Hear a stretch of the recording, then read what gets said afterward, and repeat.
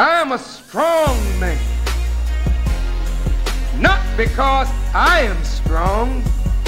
I am a strong man because I stand on the strength of the only strength that exists, and that is the strength of the God who created the heavens and the earth.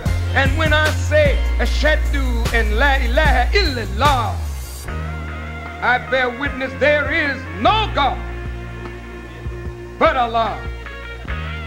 I am willing to take that faith against the entire world by myself, and I will be the winner, living or dead.